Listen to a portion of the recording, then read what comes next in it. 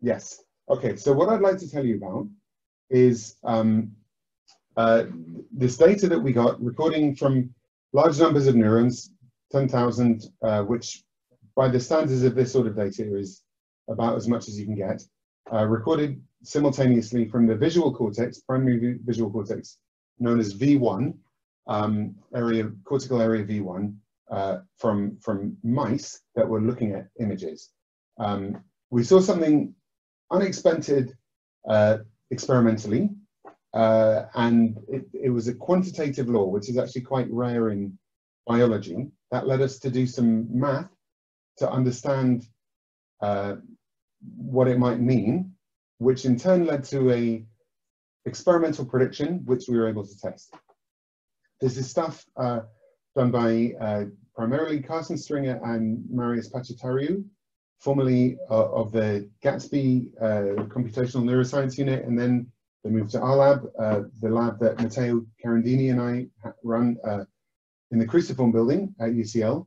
Um, these two have now gone on to their own group in uh, uh, the US, and it came out in a paper last year, um, which I can send you if, if you don't have access from home. Um, okay, so this is about um, information coding in the brain. Um, and the way we think the brain encodes information is actually not too different to the way a artificial neural network encodes information. And indeed, that's why it's called a neural network, because it was modeled after the brain. Um, and, and so what I'm going to define as the, the population code is, is really something very simple. It's a correlation.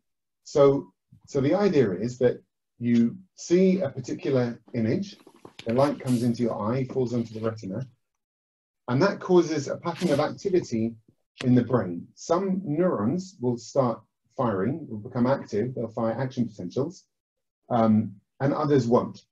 And so you can summarize the activity pattern in the brain that's caused by this sensory stimulus uh, as a set of numbers that summarizes the firing rate, the level of activity of each of these uh, neurons.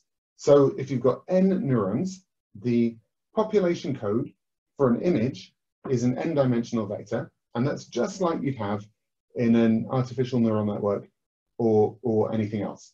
Even though the circuitry is very different, you know, it's not a feed-forward network, it doesn't learn through backprop, we think. Um, so many differences, but one thing in common is that it represents inputs by feature vectors, by population vectors, as, as we call them in neuroscience. And the idea is that when you have different images, they give you different representations, different feature vectors, and the feature vectors are a transformation of the image, of the input, in a way that makes downstream processing useful. The cortex is just one part of the brain. It's not the part that makes decisions, as far as we know, but it does reprocess the input in a way that presumably is useful for what's downstream. Okay, so what's a, a way that the brain might process uh, information, uh, sensory information, might transform it into feature vectors that could be useful? Well, we've only just recently been able to record enough neurons to um, to answer that experimentally, but theories have been around a long time. And one of the best ones, uh, now very old, going back to the 1960s or, or even before, is the idea that population codes should be orthogonal. Um, so what does this mean? Um, if you've got a particular input, um, you can think of it as causing activity uh, in a, a, set of neurons. So this, this grid here Every circle represents a neuron, and the green filled in ones are the ones that are firing. And, and this, as we said, defines a vector in an n-dimensional space if there are n neurons. So the idea is now that if you have another completely different image come along, it should activate a completely different set of neurons. In other words, the vectors should be orthogonal, their dot product should be close to zero.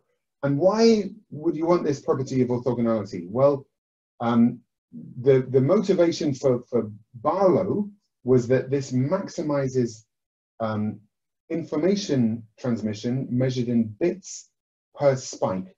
So if every uh, one of these, if, if the constraint for the brain is energy, and it's the spikes, the firing that cause costs energy, um, then uh, a sparse code like this, uh, where the different stimuli are orthogonal, would, would maximize uh, that information per energy. But there's another reason, um, which I think makes a lot of sense, which is that if you imagine a downstream network learning to associate desired behaviors with these patterns, um, and it's learned to associate, um, even just in one trial, um, a, a, downstream neurons have, have, have, strengthened their weights onto these green ones and learned to respond to the tree by you know initiating a program of action appropriate for a tree, then when this new stimulus comes along, there'll be no interference with the previously learned stimulus because they're orthogonal. So, so this orthogonality can actually afford you one-shot learning.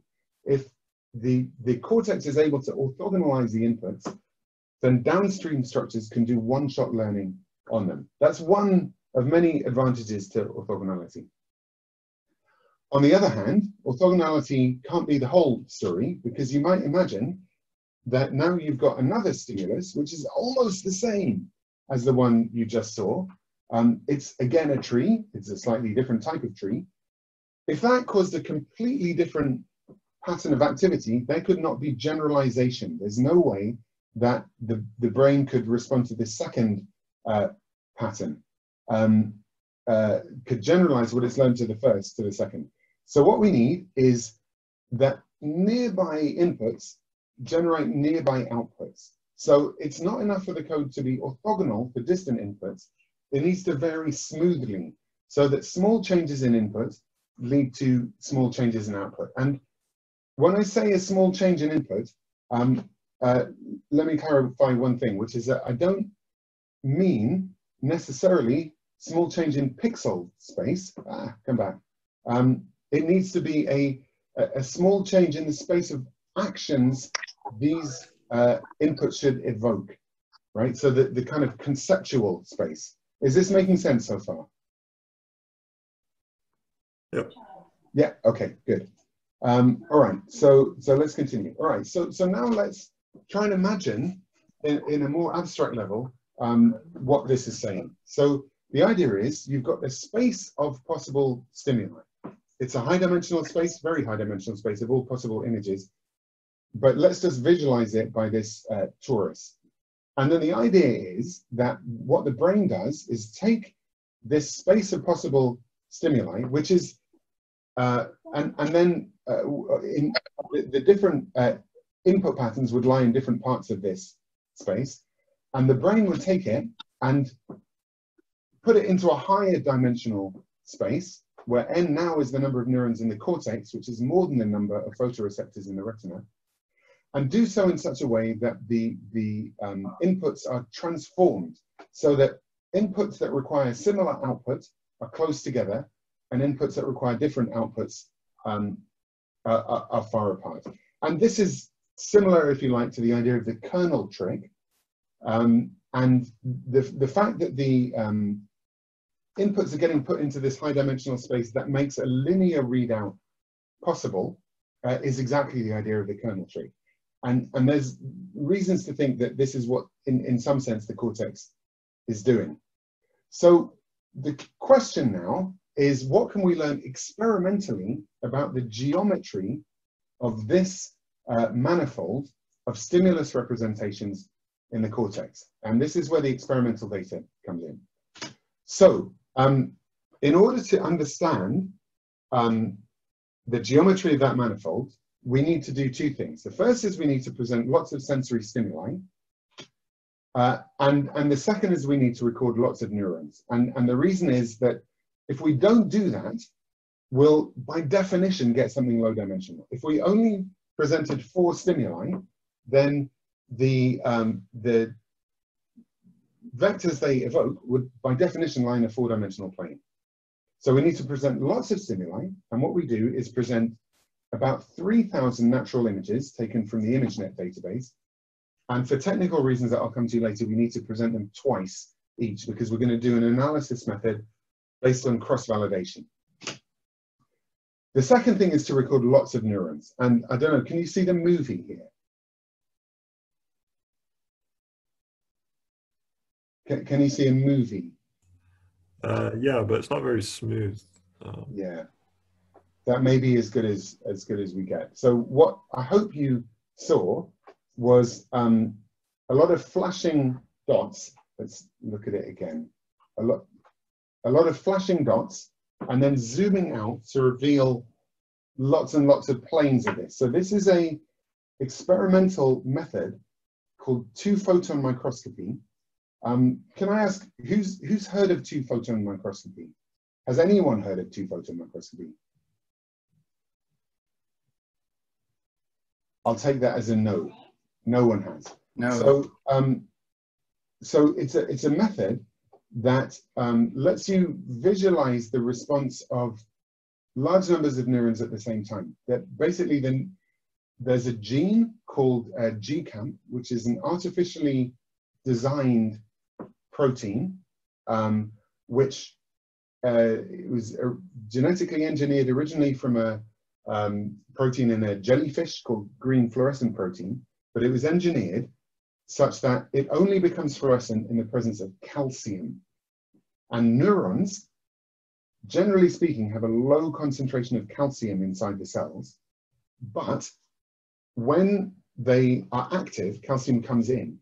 So if you have a protein that's only fluorescent when there's calcium, then when the neuron is active, it glows. And when we saw that flashing just now, that's because the neurons become active and calcium comes in and we can see their activity. It's a bit like if you've watched any of those old, um, you know, Horizon documentaries about the brain. They show all these neurons and they flash as an illustration of their electrical activity because it's really electrical activity.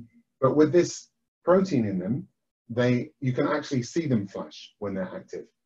Um, and uh, with genetic engineering, it's possible to have uh, a mouse where all the neurons express this GCAMP, uh, calcium sensitive fluorescent protein. And then using a device called the two photon microscope, uh, you can see uh, down to uh, about half a millimeter of depth um, into the brain and that lets you record the activity of about 10,000 neurons simultaneously. It's really quite incredible technology. We didn't invent any of the experimental technology, um, but uh, what also had to happen was developing software that would let you analyze this data. So the question of detecting the cells in these images, that's actually a difficult problem, which um, Marius um, was able to solve by developing a, a program called uh, Suite2P, uh, which is really what enabled all of this work to, to happen. Okay, so anyway, that's the experiment. The outcome of the experiment is that you get a big old matrix. And the matrix has sized the number of cells by the number of stimuli. And it's really dimension 10,000 by 3,000, and there are two of them, one for each repeat. Um, but I'm showing you here just a subset of the most so sorted, uh, of the cells most tuned. So every column here represents a, a neuron that was recorded. Every row a stimulus, and it's red when that neuron responded to that stimulus. And you can see there's some uh, groups of cells that respond to some groups of stimuli, uh, and different cells respond to different stimuli. And, and this is showing what the population code looks like, um, which cells are responding to which stimuli. The cells and the stimuli are sorted here uh, so that um, similar cells and similar stimuli are close together in this, in this map. So this is the information the brain has. And you can say, you can ask a question, if all I saw was the, um, was the firing of these neurons, the activity of these neurons, could I predict what stimulus was presented? And the answer is a yes. So this graph here shows a, a decoding analysis, and it's the simplest decoder you can think of, a nearest neighbor uh, decoder. And you take the uh, you take a random subset of n neurons up, up to about 10,000, and then we try and decode from that which of the 3,000 stimuli was presented. So chance level is 0.03%. Uh, and this shows the performance of the decoder as a function of the number of neurons. And you see it increases and increases and gets to about 90% compared to chance level of 0.03. So the information about the images is there in the visual cortex. The question is what format is it in? What's the geometry of that representation. Okay, so so and and the question we started off with, not the one we ended up with, but what we started off with is is what is the planar dimensionality of um, of this um, manifold? And what I mean by that, so in this illustration, um, it's a two-dimensional manifold in the sense that um, it, it's topologically a two-dimensional torus that's been twisted around uh, into this um, illustration of a three-dimensional space. So it has an intrinsic dimension which is two. But it's, it's possible that that two-dimensional surface in this illustration actually lies not on the on, on a subplane of this n-dimensional space. So for example, it might be that it lies on a four-dimensional plane within this 10,000 dimensional space? That's an experimental question. And, and the, the way we find that out is, is just by principal component analysis, so or a little tweak of it, you'll see in a moment. So what principal component analysis does is it measures the size of the manifold in, in along the orthogonal dimensions. So if we if we take the first principal component, its variance measures the diameter, if you like, along the, the main uh, principal axis, the second one, um, the third one, etc. And if after a while these become zero, then we know that the manifold lied in a, in, in a subplane, uh, a low dimensional plane within the full space. And that will tell us what is the planar dimension. It has to be at least d, where d is the intrinsic dimension. It could be n, the full dimensionality of the space, or it could be less. That was the question we started off asking. The data led us to realize that wasn't really the best question. Um, but um, let me tell you first a little bit about how we do it. So um, as I said, we needed to present each stimulus twice. And the reason for that um, is that the, the cortex, the, even the visual cortex, isn't just representing visual stimuli. So um, there are cells there that respond to vision, but they're also modulated by all sorts of other things. So for example, if the, the mouse starts running, then um, you have cells that fire more or less. If the mouse twitches its nose, there's cells that fire more or less. So the visual cortex isn't just about vision. And but for this project, we want to focus only on visual processing. So the way we do that is, is with the following approach. You take the, the data, the uh, training set, and you do uh, a singular value decomposition on that. Um, and you get out of it a set of, uh, principal component vectors, 10,000 dimensional principal component vectors. And we project that onto the training data and we get PCA, of the, um, of the data set. So this is number of principal components by number of images. But to find out um, what the stimulus related variance is, we need to take the second presentation of those images and, and project it onto the same vectors that were computed from the first presentation. That gives us a second um, set of responses. And you can show that if you take, if you measure the covariance of the uh, principal components across the two repeats, you get an unbiased estimate of the what we call the signal variance, or in other words, the, the stimulus-related variance, the variance of the visual uh, response. And, and the proof of that is really very simple. The, the, um, the visual response is defined to be the mean over all potential presentations of the signal. Um, and if the noise is independent between the two repeats, then the expectation of, of the covariance, the covariance, um, is equal to uh, the, the product of the, of, of the two means, so it's a signal variance. Uh, is this making sense? Yep. Okay. Um, oh, got a chat. Chat. Yes. Okay. Great. Okay. Good. Um, okay. So so here's the result, and it really wasn't what we were expecting because we were all about is it going to go to zero after a while. The so the answer to that question is no. It doesn't go to zero. So if we plot um, the dimension number on the x-axis and the cumulative variance on the y-axis, um, then what we see is that the amount of variance just goes up and up and up. Here we're on a log linear scale. So the, it isn't low dimensional. It doesn't lie in a low dimensional plane. That was our question. But the interesting thing is that this line is pretty close to being straight. And you may know that the sum of 1 over n is approximately log n.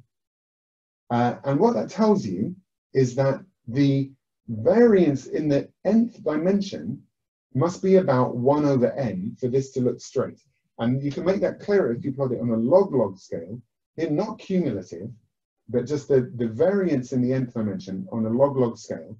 You can see that over two or three orders of magnitude, um, it follows this power law with an exponent just above one.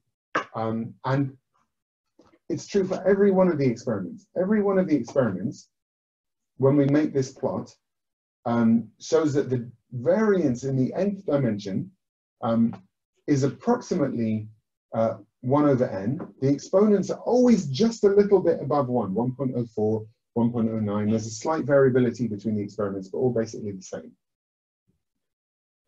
And that was just unexpected because it's not very often that you see quantitative laws in biology. In fact, I don't think I've hardly ever seen it, that you get anything at all in biology that follows, looks anything like a straight line on, on any axis. So this was really quite a surprise.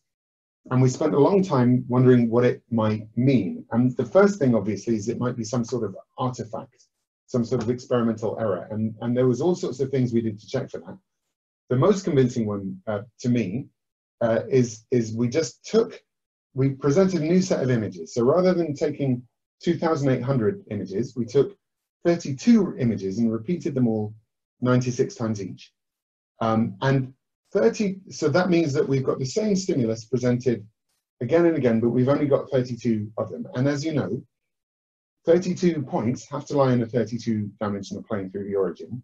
So if we do the same analysis, we ought to find now that it is low dimensional, that it's 32 dimensional. And that's actually exactly what you get. If you put the cumulative variance versus p-c dimension for this case of 32 images repeated, you find that it saturates at 32. So the method is working. If it was low dimensional, it would give us low dimensional. So this power law looks like it's holding fast. So another question is, what would happen if we had more neurons or more images? We, we can't technically do those experiments. We can only record 10,000 images, sorry, 10,000 neurons, and only present about 3,000 images. Um, but what we can do is take a subset of the data and see how it looks with that. So this is showing now uh, increasing fractions of the total number of neurons, what does the power law look like? What does the, the, the variance spectrum of the principal components look like? And you see that the more neurons you add, the further out this power law extends. And we can plot here the power law exponent as a function of the number of, of neurons, or at the bottom, the number of stimuli we're showing. And the more you add, the closer it gets to a power law of exponent one or just above one. So it looks like we've got some sort of limiting behavior here. Um, another thing that you might think is that this is coming from the image itself. So as you might know, natural images themselves follow power laws. So if we take our images and we do SVD just on the pixels of the image, then we get something that looks a lot like a, a, a power law, with an exponent close to one. So maybe the neural power law is following this power law in the image itself. So to test that, we take the images and we filter them with a whitening filter that breaks the power law. Now look, it's nothing like um, this 1 over n spectrum, but the neural spectrum is still very close to 1 over n, or, or, or n to the minus alpha, with alpha just above 1. So it's not inherited from the image statistics. There's a whole lot of things it isn't. So what does it mean? What we found is that the eigenspectrum, the variance spectrum of the principal components, converges to a limit as the number of neurons tends to infinity and the number of stimuli tends to infinity. So what does this tell us? Uh, and, and this is where the math comes in. All right.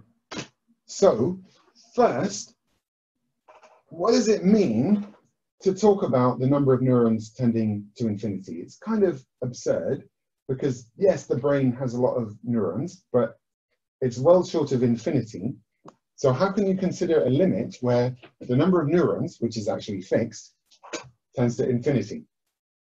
Actually, it's something you do all the time, any time you do any sort of experiment at all that uses statistics. So, so for example, suppose that we'd said, as something common in neuroscience, that the firing rates of these neurons followed a log normal distribution. It doesn't need to be this exact statement, um, just saying that any experimental observation follows a probability distribution. This, strictly speaking, isn't true. There's a finite number of neurons, so they follow a discrete distribution. They can't possibly follow a continuous distribution because only an infinite population can follow a continuous distribution. What you really mean is that the obs experimental observations look like a sample from an infinite population that follows that distribution. So if I say the heights of everybody in the world follow a Gaussian distribution, it's probably not true, but let's just, say it for example. It couldn't be true um, because there's only, you know, 7 billion people in the world, way short of infinity. But what it means is that those 7 billion, their heights look like a sample from a Gaussian distribution. And so anytime you do science at all, you're considering this limit that the size of the population tends to infinity. And, you know, the, in the case of the heights of the people in the world, you can't let the number of people in the world tend to infinity. But what you're saying is that these people look like a sample of an infinite distribution. And this distribution is all the people who might conceivably live in the world consistent with the sample that you've got. It's not all the people in the world. You might record 100 people's heights. The infinite population isn't everyone in the world. It's everyone that might conceivably live in the world. So, so now let's translate this back to the case we were talking about. The difference here to conventional science or conventional statistics is that we're letting two things go to infinity. First, we're considering all the stimuli we possibly could have shown. And that's not just all the things in the ImageNet database, it's all of the images that could conceivably have been in the ImageNet database. Next, we're considering all the cells that the brain could conceivably have contained, not just all the ones it does contain, all the ones it could conceivably have contained. And we consider those both to be drawn from a probability distribution. So now we've got this infinite set of conceivable stimuli, infinite set of conceivable neurons, and we define the response of each one of this infinite set of cells to each of, each of this infinite set of stimuli, and we give it a name, phi of CS, the noise-free response. And the idea is that the actual responses look like a sample from these distributions. Obviously, we can't measure phi because it's an infinite thing, but we can use tools of statistical inference to constrain something about this infinite population code, even from these finite samples. And, and this is something called functional data analysis that hasn't seen much use in neuroscience, but is used a lot in time series, for example.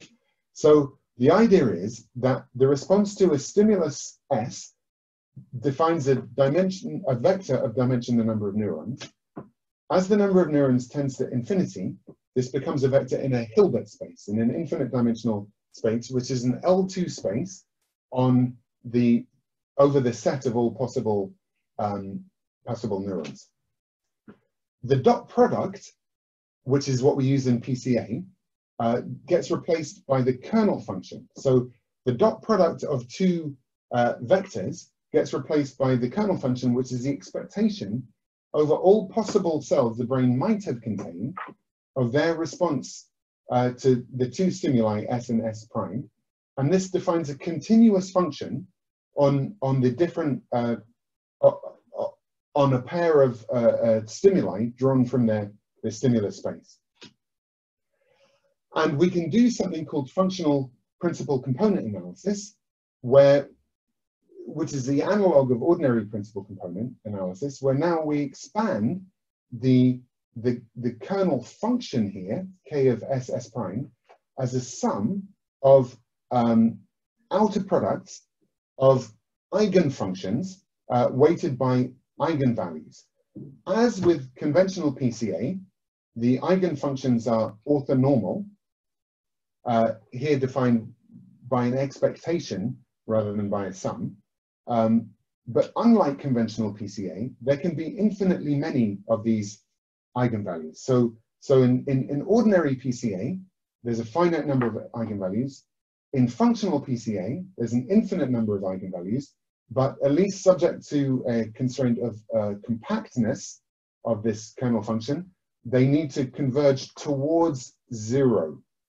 Okay, any, any questions at this point? Because the math is only going to get more complicated after this. Uh, yeah, I have a question. Yes. Um, are you looking at settings where the spectra will be continuous or discrete? Oh, definitely discrete. Okay. Definitely discrete.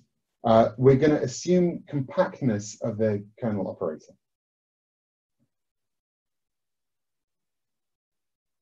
Any, any other questions? Okay, great. Um, all right, so, so the main mathematical result we need uh, is um, functional, uh, from functional principal component analysis, is, is this one uh, from, from this paper here, which roughly speaking says that as the number of neurons in stimuli tends to infinity, if you do sample PCA, you sample a random number of neurons and a random number of stimuli, and, and you do PCA on that, then the eigenvalues you get from that PCA converge to the eigenvalues of the kernel function. So what this means is that from our finite sample of neurons and stimuli, we can make an inference about the, the kernel, the kernel function of the entire infinite population of um, neurons and stimuli. So we infer that the kernel function has a power law eigenspectrum. So what does that mean? Okay, we have made some progress. We've gone from this puzzling observation to something quite general, that the kernel function has a power law eigenspectrum. But what does that mean? Okay, so, so here's the intuition, is that higher principal components of the kernel function encode finer stimulus features. So let's turn back to the experimental data. What this shows is a matrix with neuron on the x-axis and image number on the y-axis, and they're sorted again, so that nearby neurons are close together uh, and nearby images are, uh, uh, uh, are, similar. But what we've done is we've projected the activity onto just the first two PC dimensions, and you see it's smooth. We've got all of these neurons responding to all of these stimuli, and then a, a blue patch and then a red patch. If we look at higher dimensions, though, you see finer and finer details emerge as we go to higher and higher dimensions. So by the time we're now here in the hundreds of dimensions, you've got just small numbers of neurons, small sets of neurons responding to small sets of images. So the higher PC dimensions encode finer and finer stimulus features. So what the eigenspectrum means is it measures how much weight the brain is giving to fine details of the stimulus compared to the coarse details of the stimulus. The slower the eigenspectrum decays, the more weight the brain gives to the fine details, and the faster it decays, the more weight it gives to the, to the coarse details. And the point is that the eigenspectrum can decay too slowly to be of any use. Uh, and this is what we're going to formalize now with some, some theorems. If the eigen spectrum decays too slowly, then the fine details together swamp everything else. You can't see the forest for the trees. The coarse details no longer matter. And there's two ways that the eigen spectrum can decay too slowly. First, if it decays more slowly than n to the minus one, uh, then the code, the neural code, population code, the, the feature vector code, can't be continuous. Second, if it decays slower than n to the minus 1 minus 2 over d, where d is the intrinsic dimension of the, the stimulus manifold, then the code cannot be differentiable. So let's see what this means. So the first theorem says that decay slower than n to the minus 1. And remember the observation we got experimentally is that it decays just slower, just faster, excuse me, than n to the minus 1. Slower than n to the minus 1 would be pathological. And, um, and, and what you can prove, and it's in the supplementary material of that paper I quoted, is that if the eigenspectrum does not, does not asymptotically decay faster than n to minus 1, then either the kernel function is discontinuous or the population variance um, is infinite, meaning that there's uh, the expected variance over all cells and stimuli of the activity of a neuron is, is infinite. And, and both of these are absurd. You couldn't have this, it just couldn't make any sense. And, and you wouldn't want this because you'd have no generalization. Um, and the sketch, the proof basically is the fact that if it decayed slower than n to the minus one, then the sum of the eigenvalues would be infinite. And using Mercer's theorem, uh, you can relate that to, if k was continuous, you could relate that to the expectation of the diagonal of the kernel matrix, which would show that if you've got continuity, then you have, have to have infinite variance. Okay, there's a kind of converse to this, which is that if you have decay faster than n to the minus one, you have this nice property which we call holographic coding. So the idea is if the code has a finite eigenvalue sum, then you can reconstruct the entire infinite dimensional population. Remember, because it's a vector in a Hilbert space, you can re reconstruct that uh, Hilbert space vector to any degree of accuracy you require by sampling a sufficiently large number of neurons. And, and it's a fairly simple proof. You, you pick a cell at random and you predict it by linear re regression from the rest. And if there's finite population variance, you can show this means the prediction converges. So the idea biologically is that in the brain, there are lots of neurons in the cortex, but any neuron downstream of that only can listen to a very small number of them. And what you would like is it doesn't really matter which subset of neurons this downstream cell happens to be listening to, if it was able, if it was listening to a completely different set of neurons, it would still be able to decode the activity of the whole population to arbitrary accuracy. And that's what you get from this holographic coding principle. Okay, uh, the next um, theorem um, is about this other type of pathology. So if we get um, decay that's faster than n to the minus 1, but still slower than to the minus 1 minus 2 over d, which is a weaker condition than to the, uh, sorry, it, it, it's, it's possible to decay in principle between to the minus 1 and n to the minus 1 minus 2 over d. If you had that, you'd still have a pathology. And the pathology would be that the code is not differentiable. Uh, in other words, if the, if the input space is a d-dimensional Riemannian manifold, um, and it has a finite expected derivative, the gradient of the, um, the map from this manifold into the Hilbert space has a finite expectation of magnitude, then the eigenspectrum has to decay faster than n to the minus 1 minus 2 over d, where d is the dimension of the stimulus manifold. The proof of this uh, is, is based on two things. First, Green's theorem that lets you uh, relate the, uh, the, the squared magnitude of the derivative to the Laplacian operator. And secondly, Weyl's asymptotic law, classical piece of differential geometry, that um, tells you about the eigenvalues of the Laplacian operator on a manifold, that they have to have asymptotically uh, order n to the n to the 2 over d. And, and together these give you the, the theorem that you have a finite eigenvalue sum uh, only if the uh, eigenvalues decay uh, this fast, is the, is the derivative uh, have a finite expectation.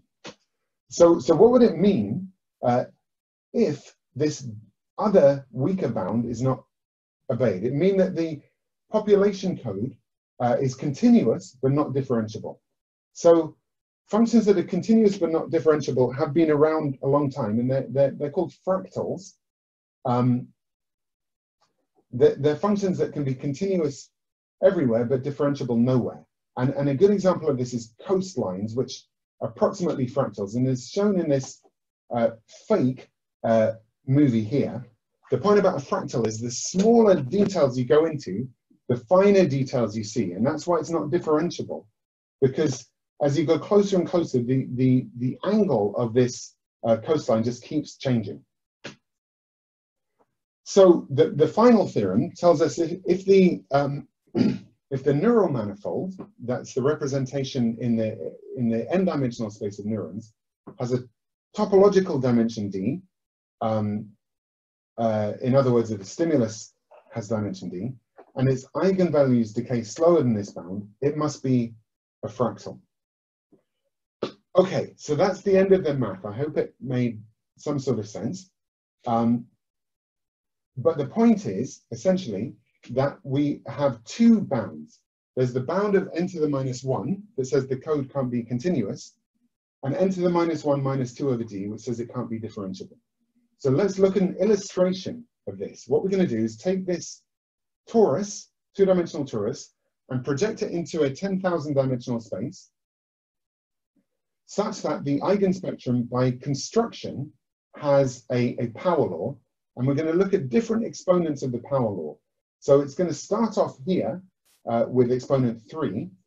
Then it's going to slowly decay. When it gets to 2, that's 1 plus 2 over d for d equals 2. It's going to become a fractal. And when it gets to exponent 1, it's going to become discontinuous. And what we're seeing here on the right is a three-dimensional random projection of that 10,000 dimensional representation of this torus. That's where this figure came from. It's a, it's a topological torus that comes from blasting this into a 10,000 dimensional space and then taking a three-dimensional random projection. And at the bottom, we see the three coordinate functions of this on the torus. All right, so let's animate it. Okay, so hopefully you can see some sort of movement here, that it's starting to kind of stretch out a bit as this um, um, slope gets smaller. And It's getting more and more crinkly.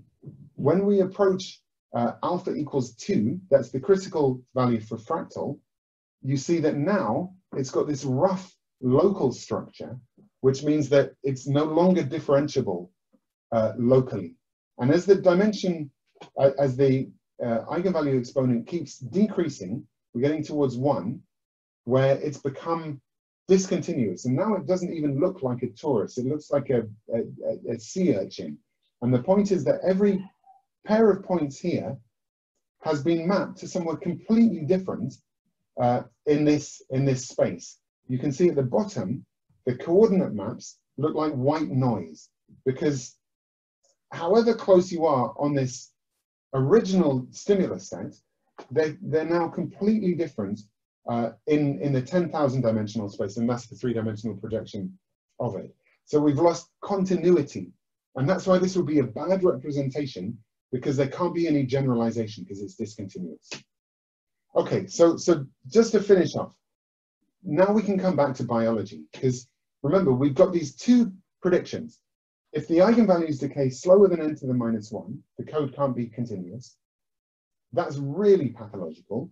If it decays slower than n to the minus one minus two over d, it can't be differentiable. That's still pathological, but not quite as pathological. So which one is true? Well, if d is large, 1 plus 2 over d is about 1 anyway, so we can't tell the difference. It might be that that value of 1.04 we got is because d is really around uh, 50. But what we can do is make D smaller to distinguish them. And the way we do that is we create stimuli of low manifold dimension, and now we show these uh, to the mouse. And the, the prediction is that the eigen eigenspectrum should now decay faster. And the way we do that is we just take the ImageNet stimuli and we project them onto a, a basis set uh, of, of, of low dimensional uh, basis vectors. I could talk about how we get those, it's not really important. And we get things like this um, that are drawn from an eight dimensional space of images. And we get as many as we had as the original images. And remember that before we got an exponent of around one, the prediction is now we show these different images, we'll no longer get an exponent of one, we'll get an exponent that needs to be at least 1.25, because that's one plus two over d where d equals eight. Uh, and experimentally, we see that we actually do get that. We now get 1.49. Uh, similarly, if we make four-dimensional images, now we should again have a larger exponent because it needs to be greater than 1.5. And we find that, yes, we get a larger exponent. This time it's 1.65. And if we show a whole lot of different stimuli uh, of different dimensionality, we find that the exponent is always on the safe side of the curve so that the, um, the, the, the stimulus representation manifold does not need to be a fractal. It can be a smooth manifold. Okay, so to summarize, um, the math says that if the eigenspectrum decays of, of the kernel function decays slower than to the minus one minus two over d, then the population code can't be differentiable. If it decays slower than to the minus one, then it can't be continuous. Experiment says it's faster than both, but it's close to to the minus 1 minus 2 over d.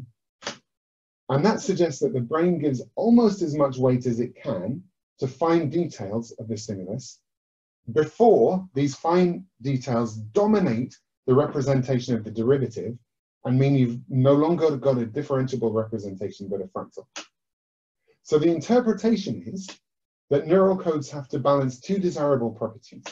First, orthogonality, so different stimuli can be easily distinguished. And slower eigenspectrum decay means more orthogonality. Second is smoothness, so that similar stimuli can be represented similarly. Faster eigenspectrum decay means more smoothness. And it seems like the brain has figured out how to make the eigenspectrum decay just fast enough that for the code to remain smooth while being otherwise as orthogonal as possible.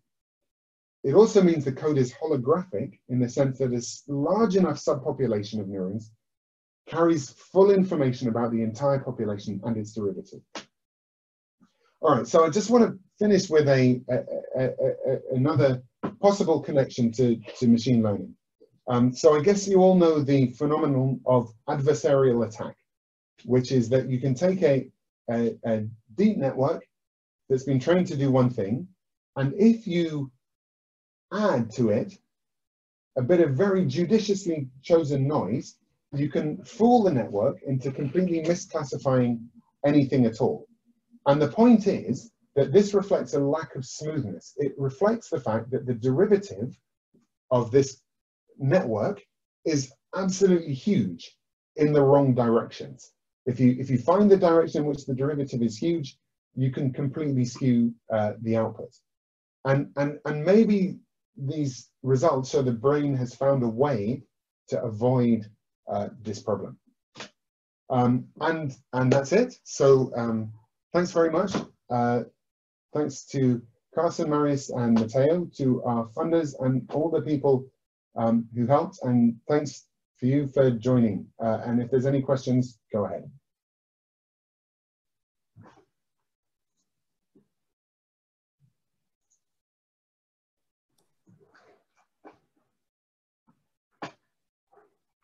I guess if nobody else has any questions, I sort of have a question. Um, so um, one thing that's kind of uh, so you've so you've interpreted um, all of the mathematics that you've shown in terms of uh, kernels and reproducing kernel Hilbert spaces, but these methods are very closely connected to uh, Gaussian process methods. So I'm wondering if um, sort of some of the interpretations that you've given can also be thought of in that way.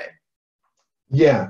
Okay. Thanks. So so let me clarify something. So so these are Hilbert spaces, but they're not RKHSs.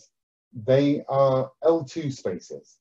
Um, so uh, th th there are kernel functions, uh, but they're not reproducing kernel Hilbert spaces. They're they're L2 spaces. Um, so can they be interpreted in terms of um, Gaussian processes? Um, yes, uh, I, I would think so. So making the connection to machine learning again, the, the, the point is that um, you, you've got a, a kernel function on uh, your, your stimulus space, K of S uh, and S prime, uh, and um, this is a property that the kernel function ought to have. And as for what readout you have of it, I don't think that really matters. Um, so you could have a, the, the one that, that I worked through the math of is a, a delta rule, um, which is, it actually, I think, does become equivalent to a, a Gaussian process learning because it's, it, it's, it's equivalently ridge regression on uh, on on this Hilbert space, and and therefore it is a um, it is equivalent to Gaussian process uh, regression. So so absolutely, um, I think this is is is a way to say that there's a, a constraint on the kernel functions for Gaussian processes or support vector machines or whatever you like um, that would allow good generalization. And and actually, the kernels that are used in machine learning pretty much all obey this. The one that doesn't obey it, well, it, it obeys it by the letter, but not the spirit of the, the law, is, is actually the, um, the um, radial basis kernel, um, which it, it, it does decay fast enough, but it, it, it basically, the, the principal component spectrum of that looks kind of flat, and then it jumps off a cliff. Um, but it's it's not this smooth kind of power law de decay that you would get that we see in the brain. So I don't know what that means. For RBF, why? Because I thought for RBF, the uh, spectral density is just going to be a Gaussian density. Or am I thinking of the wrong thing? Uh, okay, so, so in high dimension, so you're right, but the point is in high dimensions, if you take the Oh yeah, yeah, yeah, yeah. In high dimension, it's in, in high dimension that thing's not going to work because it's a distance-based kernel. So in high dimensions, I can completely believe you because essentially the spectra is going to look like some sort of um, much it's closer gonna, to some sort of white noise-like thing. Exactly, it's going to be white noise, and then it's going to fall off suddenly uh -huh. to zero when you when you exceed uh, that that number. And and so so yeah, so that's what the brain seems not to be doing. But then it's not dealing with it, as you say, with a low dimensional stimulus space. Mm-hmm. Okay, Thanks. we had a couple of questions on the, the chat. So can you use um, the uh, this idea to, to regularize activations in a neural net? So yes, I think you can. So the first thing is there's something called Jacobian regularization, uh, which was um, developed, I think it came out last year, as a, as a response to adversarial attack. Um, and, and that, I think, would give you this property. You could also try uh, putting a, um, a regularization, regularizer that directly imposes a power law um, on a neural network. Um, when answering this question, go back to PCS. Okay. Um, oh, um, okay. Here we are. Um, yeah, and, and in collaboration with uh, some people at uh, uh, SUNY Stony Brook, we've had a go at that, and it has some sort of uh, promising uh, looks. But yes, that, that, that's a good idea to try and do a regularization like that. Um, and um, but we haven't. Uh, we, we've only just started looking at it. Okay, uh, from uh, from Felix, are there any stronger requirements on the power law decay if you were to assume, say, second derivatives have to be continuous? Yes, uh, that would be 1 plus 4 over d. So um, uh, the, the, the spectrum has to decay faster than n to the minus 1 minus 4 over d. And again, the um, if you want third derivatives, it's 1 plus 6 over d, um, etc. Uh, and if you want it to have infinitely differentiable, it has to be faster than any uh, power law. In other words, it has to be something like exponential. Um, from Pascal, um, orthogonal and smooth representations. Pascal, do you want me to go back to the slide on orthogonal and smooth representation? I don't quite understand what you're saying.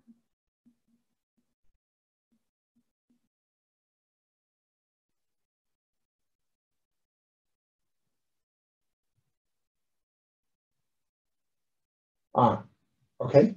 No, I was just commenting on what you were saying earlier. Okay. So, well, if you have a question, then then ask it. But uh, I'm, uh, okay, You're already answered it. Fine. Okay. Um, from Dan. Oh yeah, the question about okay, uh, uh, okay, sorry, I didn't finish typing the question, so I'll just no, say no problem. Um, um, so there's a conversation going on at the moment about GANs. For example, whether it's possible to smoothly move between, for example, two labels whilst maintaining a realistic image. And intuitively, it feels like it wouldn't be possible to, for example, move from dog to fish with every image in between being a realistic image. So there's sort of two questions. One being, um, in the stimulus space, I imagine you you had, for example, from tree to fish. There'll be a lot of things in between tree and fish that are nonsense, and how are those handled? And then the second question, sorry, sort of related, would be this uh, result that you've obtained about the smoothness. Would it be maintained under transformations, like for example, um, I imagine this would be the output of a generator would you expect the result to be maintained on the input to the generator? What sort of function would be needed to maintain that, uh, that result? So I've got to admit, I don't really know very much about GANs. So uh, okay. I can't really answer the question. Um, okay, uh, so the, the first question then, the first question about stimuluses. Okay, so the, the first question was about this kind of, and, and these are really just cartoons here. But the question is, if um, this is a fish and that's a tree, what's what's here in between them? And so I, I think the way I'd answer that is um, this is a manifold, um, but there can be a probability distribution on this manifold. So here is some sort of weird thing that's half tree and half fish, but the probability you'll ever see it is almost zero. Uh, in fact, you'll only ever see it if you're watching one of those weird um, inceptionism uh, movies.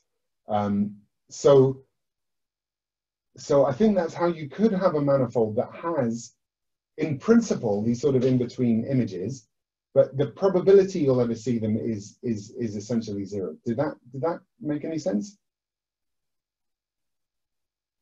Yes, it does. Um, so that the manifold is still smooth, essentially, in that case, because yeah, the, the, uh, right. you have something that's nonsense, but it's but it's yeah, not. Yeah. It, it, has essentially a zero probability of of happening. Okay, so from Yihong, if the brain has to give as much weight to fine details, does this mean compressing neural network is impossible? Um, hmm. Okay, I'm not sure I completely understand the question, but I guess your point is um, if if we want to compress and we want to hold on to these details, um, can we can we do it? Um, and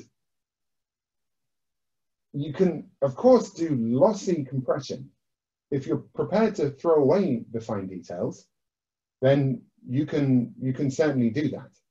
Um, but if you want to hold on to those fine details, whereas while um, using less neurons um, to represent it, then I think that would be a problem, yes. So, so basically, I think if I've understood the question right, in terms of compression, what you want to do is reduce correlations between the neurons and, and the ultimate in compressed data is something that looks like white noise.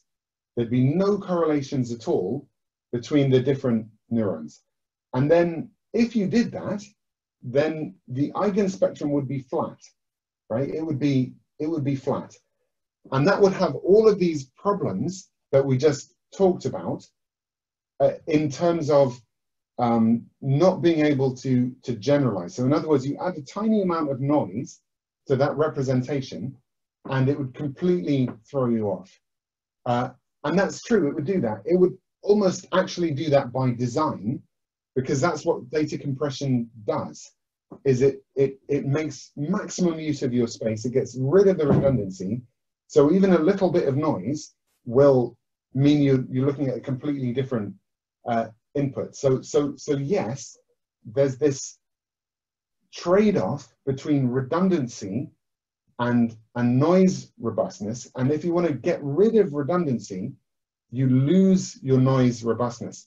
And in fact, going right back to the beginning, this, this paper from, from Barlow that I recommend even, even people in machine learning, I would recommend to read both of these papers because they're, they're great.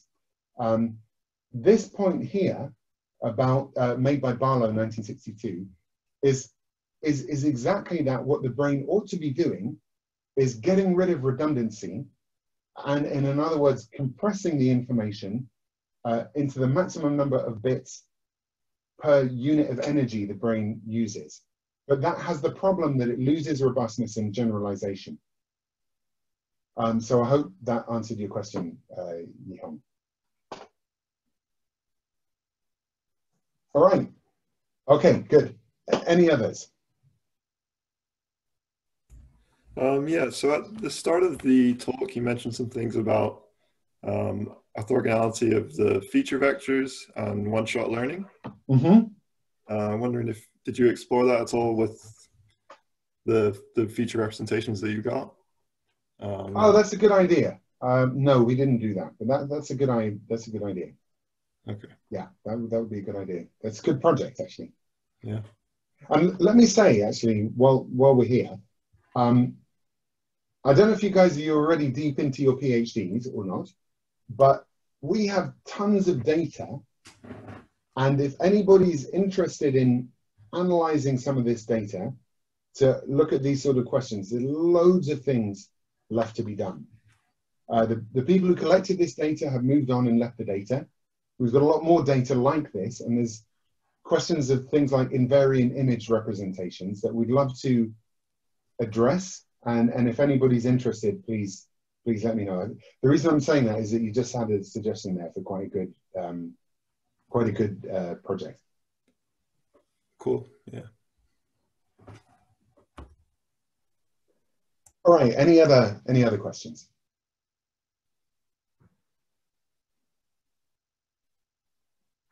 Okay, great. Well, thanks a lot.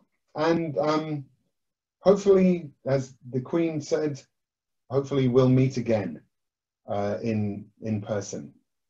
Uh, so looking, looking forward to it. Thank you. Okay, bye-bye.